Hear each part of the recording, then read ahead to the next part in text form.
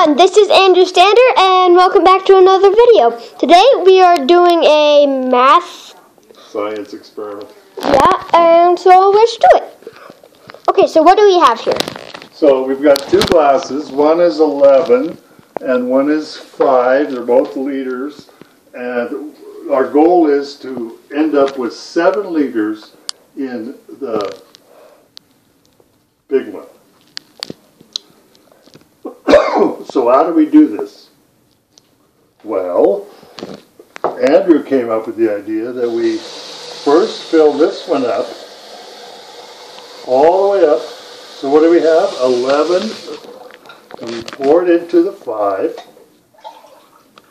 So how much is left in the 11? We got 5 in here. 11 minus 5 is 6. So we got 6 in here, 5 in here. So what we do is we pour the 5 out, and then we do it again. So we got 6 and pour into 5. We got 5, 5 in here, and we got 1 in here. So we pour the 5 out. Now the question is, now what do we do? So what we do is we pour the 1 into the 5. Notice that. So you got 4 left. Mm-hmm. And then what do we do?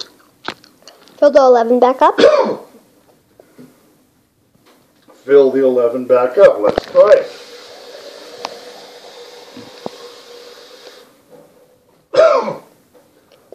and then what do we do? Pour the 11 into the 5. Okay, so we got 11, and there's only 4 left in the, in the, in the 5.